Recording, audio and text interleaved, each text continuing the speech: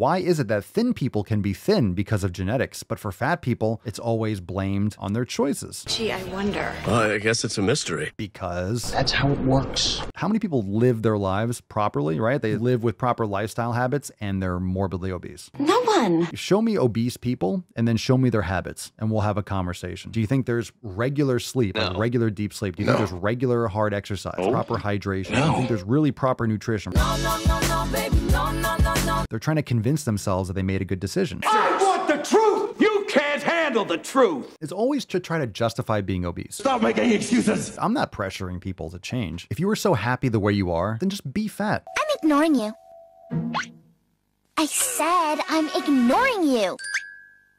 Stop ignoring me, ignoring you! We'll see how that plays out for you.